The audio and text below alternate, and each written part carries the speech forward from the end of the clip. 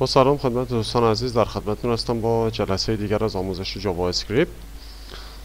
در این جلسه میریم سراغ حلقه ها ببینید یه زمانه پیش میاد که می‌خوایم یه کاری رو چندین و چند بار انجام بدیم. مثلا به عنوان مثال یه سری دستورات رو ده بار اجرا کنیم. یا یه سری دستورات رو تا موقعی که یک شرط برقراره و انجام بدیم. یه مثال ساده می‌زنم. می‌خوایم که اعداد مثبت کوچکتر از مثلا صد رو در کنسول بنویسیم. خب حالا کنسول ما اینجا یه چیزی رو اینجا بهتون معرفی کنم در ابتدای. ام ببینید موقعی که ما F12 رو می‌ذاریم داخل مرورگر خب developer tool ظاهر میشه. یه بخشی داره اسم کنسول. اینجا ما می‌تونیم تو خروجی یه سری دستورات رو بنویسیم و یه چیزی رو نشون بدیم. راه و روشش داخل JavaScript برای نشون دادن اینه که ما از یک شی استفاده می‌کنیم. شیاش یعنی یه جعبه در نظر بگیرید. یه جعبه که پر دستوره. ما می‌تونیم دستور لازمه رو جعبه که ما اینجا می‌خوایم ازش استفاده کنیم جعبه هست به اسم کنسول. حالا ما اینجا بهش میگیم شی من اینجا به عنوان جعبه چون هنوز به اشیا و کلاس ها نرسیدیم. من اینجوری مجبورم میگم که شما راحت متوجه بشید. یه جعبه رو در نظر بگیرید که پر داده و دستوره. ما هر موقع بخوایم یکی از این دستورات استفاده کنیم اول باید نام جعبهمون رو بنویسیم بعد یه نقطه بذاریم بعد نام اون دستوری رو که نیاز داریم. دستور لاگ رو من نیاز دارم. خب دستور لاگ یه چیزی شبیه به همون دستور آلرت فقط با این تفاوت که آلرت اگه یادتون باشه ما یه چیزی رو مثلا می اینو میومد تو خروجی واسه ما نمایشش می‌داد. به صورت یک پنجره کوچیک. خب من خب ببینید به این شکل. درسته؟ خب. ولی حالا من اینو میارم اینجا. خب. مهدی رو حالا ما می‌خوایم یه چیزی رو اینجا نمایش بدیم. یعنی اینجا واسه تو کنسول واسمون بنویسه واسه این راه حل میایم از دستوری استفاده می‌کنیم به اسم لاک. از شیء کنسول که همون جعبه کنسول. نقطه لاک. گفتم که نام جعبهمون رو می نویسیم نام اون شیء رو می نویسیم و بعد نقطه می‌ذاریم و بعد دستوری پر دستور کنسول. دستور کنسول پر دستور یکیشون لاگه. خب من می‌تونم اینجا بعد داخل پرانتز مثل همون آلرت اون چیزی رو که دوست دارم تو کنسول نوشته بشه می نویسمش مهدی. خب حالا اینور میام. رفرش می‌زنم. خب بخشید کنسول من نوشتم اینجا کنسول باید بنویسیم. الان درست شد. کنسول. خب اینجا نوشته مهدی. خب. خب حالا ما می‌خوایم دستور ما گفتیم یکی از چیزهایی که نیاز داریم حلقه هست دیگه. یکی از دستوراتی که ما داخل ورد باشید برنامه نویسی بهش نیاز داریم حلقه از حلقه ها سه نوع حلقه داریم داخل وردپرس. در واقع میشن چهار تا چون یکیشون دو حالت هست. یه وایل یعنی در واقع همون ستان وایل دوه و فوره. خب من این جلسه می‌خوام روی وایل تمرکز بکنیم. روی وایل به این شکله که ما کلمه وایل رو می نویسیم یعنی تا زمانی که پرانتز می‌ذاریم. خب به این شکله اینجوری وایل رو می نویسیم پرانتز می‌ذاریم یه شرط رو داخل این پرانتز می نویسیم و تا زمانی که این شرط رو برگردونه درست باشه دستورات بین این دوتا آکولات اجرا میشه. خب من یک متغیر می‌سازم اسمشو می‌ذارم نام عدد و مقدار صفر رو بهش میدم. خب خب می‌خوام بگم تا موقعی که نام کوچکتر از 100 هست. این حلقه یعنی این حلقه تا زمانی که مقدار نام کمتر از 100 باشه میچرخه. خب الان اگه من اینو اجرا کنم گیر می‌کنه توی حلقه بینهایت. چون الان ببین پس داخل بدنه وایل ما باید یه جوری بنویسیم که یه این شرط نقض بشه و یعنی گیر می‌کنه تو حلقه بینهایت. یکی از کارهایی که انجام میدیم اینه که میایم میگیم که می‌خوایم بگیم تمام اعداد زوج رو در خروجی واسمون داخل کنسول اینجا واسمون بنویسه. برای این کار ما میام اینجا می نویسم میگم که اگر num خب باقی مانده داخل JavaScript با علامت درصد نشون داده میشه. یعنی مثلا ما یه زمانی میگیم مثلا یه چیزی به اضافه یه چیز دیگه. خب ضرب که گفتیم به این شکل هست. تقسیم هم خب از اسلش استفاده شد باقی مانده این هست. خب نام باقی مانده. یعنی اینجا میگم که نامو تقسیم بر دو کند. خب باقی ماندهش تقسیم صحیح نه اعشاری اما. خب اینجا اگه باقی مانده نام تقسیم بر دو بشه صفر یعنی اون عدد زوج هست دیگه. و در خروجی میگم بنویسش. داخل کنسول کنسول دات لاگ نام. نام رو واسم بنویسه اینجا.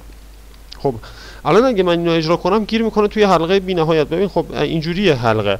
میاد از اینجا شروع میشه. خب از اینجا شروع میشه خط اول می‌خونه میره خط دوم میره خط سوم بعد می‌رسه به اینجا. دوباره میاد از اول شروع می‌کنه.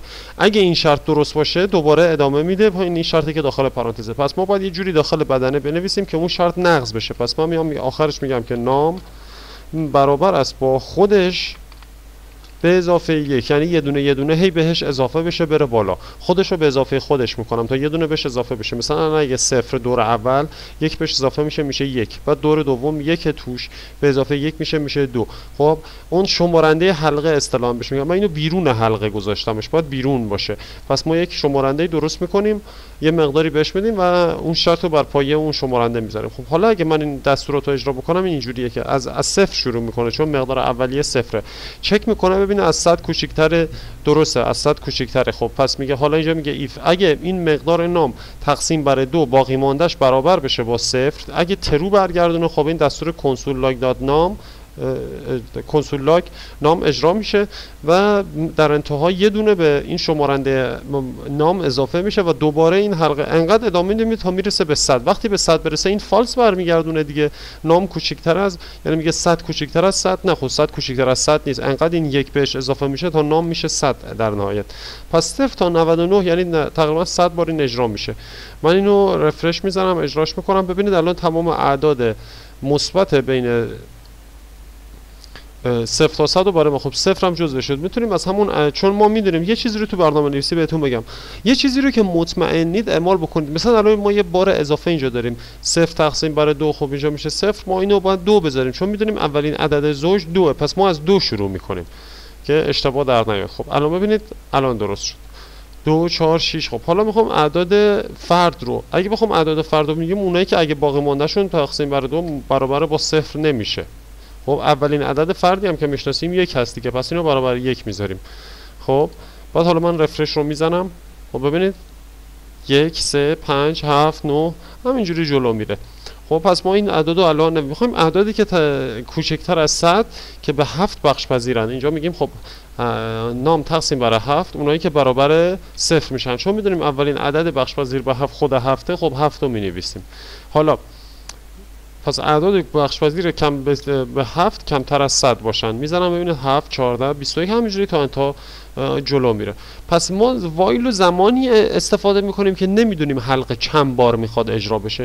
یک نوع حلقه دیگه هم داریم که می‌دونیم چند بار می‌خوام. مثلا 10 بار می‌خوام. مثلا این دستورات اینجا رو من می‌خوام 10 بار اجرا بکنم. خب حلقه دوم نوع دوم خب یه نوع دیگه هم داریم. وایل نوع دیگه هم داره که شرط حلقه انتهاش سنجیده میشه. اون نوعش اینجوریه که ما اینجا دو می‌ذاریم کلمه دو رو می‌نویسیم این پرانتز رو برمیداریم و انتهای حلقه این شرط رو می‌ذاریم اینجا. ببینید. به این شکل. خب حالا من این رو اجراش می‌کنم. ببینید پیغام خطایی رد می‌کنه یا نه. خب ببخشید اینو مثلا می‌ذاریم اونایی که تقسیم بر دو میشن اینو می‌کنیم دو. می‌خوایم اعداد زوج رو ببینیم. خب ببینید به این شکل در اومد. این ماجراش چیه؟ این حالت اینجوریه که تمام ما می‌خوایم حالا همون حلقه وایل هست با این تفاوت که حتی اگه شرط داخل حلقه فالس هم باشه یک بار حداقل یک بار این دستورات اجرا میشن. خیلی کم کار برده ولی جاهایی به دردمون می‌خوره. این حالت حلقه خیلی کم کار برده. خیلی به ندرت ازش استفاده می‌کنید ولی باید بلدش باشید. ببینید پس دو نوع حلقه داشتیم. من برش میگردونم. دو نوع حلقه وایل داریم. یکی به این شکل حالت کلاسیکشه که وایل رو می‌نویسیم شرط رو می‌نویسیم داخل پرانتزی و تا زمانی که این ترو باشه این اعمال میشه. خب حالا خب ما گفتیم کمتر. حالا اگه من بیام شرط رو نقض بکنم به عنوان مثال اینجا می نویسم دیویست. نام از دیویست ببین اصلا حلقه اجرا نمیشه. اصلا حلقه اجرا نشد. چرا؟ چون این دیویست دیویست کمتر از 100 نیست دیگه. فالس برمیگردن و پس در نتیجه دستورات اینجا اصلا به هیچ عنوان اجرا نمیشن. پس تا موقع که این پرانتز ترو برمیگردونه این حلقه اجرا میشه. نوع بعدی که گفتیم همون دو وایل هست که دو رو اینجا می نویسیم شرط رو می‌بریم انتهای حلقه به این شکل. وایل رو می نویسیم و شرط رو می‌ذاریم جلوش. خب؟ حالا فرقش با حالت بالایی چی بود؟ فرقش اینه که حداقل حلقه یک بار رو اجرا میشه. می‌خوایم اعداد مثبت بین 100 بین 0 تا 100 رو چاپ بکنیم. همون حالت قبلی. فقط فرقش اینه حتما یه بار اجرا میشه. خب من اینجا اینو چی می‌کنم؟ میام میگم که می‌خوام اعداد بین 0 تا 100 رو چاپ بکنم. اینو برش میگردونم. حالت کلاسیک تا تفاوت این دوتا رو بهتون نشون بدم. خب ببینید صفر رو میدم به نام. میگم تا موقعی که کمتر از صدی. میگم در هر صورت اینو چاپ بکنیم می‌خوایم اعداد بین 0 تا 100 رو چاپ بکنیم تو خروجی. خب؟ چجوری میشه؟ حلقه شروع میشه. یه بار عدد رو می‌نویسه و بعد یه دونه بهش اضافه می‌کنه و جلو میره. تا موقعی که عدد به 100 برسه. ببینید تا 99 پیش میره. از صفر شروع می‌کنه تا 99 پیش میره. اینو من بزرگش می‌کنم که بتونید ببینید. خب. از صفر شروع می‌کنه تا 99 پیش میره. درسته؟ اونجا گفتیم اعداد بین صفر تا 100 حالا اگه من این رو بیام برعکسش بکنم به صورت دو وایل بنویسمش خب اینو این شرطش رو من نقض می‌کنم. می‌نویسم اینجا مثلا 200 ببینیم مثلا چی اتفاقی میفته نه اتفاقی نمیفته چون شرط حلقه نقض شد. اینجا 200 200 کمتر از 100 نیست. در نتیجه اصلا در این حلقه اجرا نمیشه. حالا من میام اینو دو می نویسم دو. همون حالت دوم.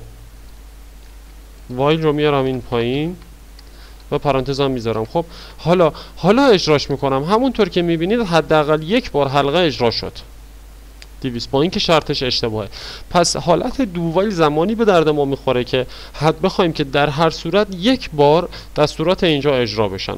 میایم از حالت دو وایل استفاده می‌کنیم به جای وایل خالی. خب امید این جلسه هم همینجا من به انتها میرسونم. امیدوارم که از این جلسه استفاده و لازم استفاده لازمه رو برده باشید.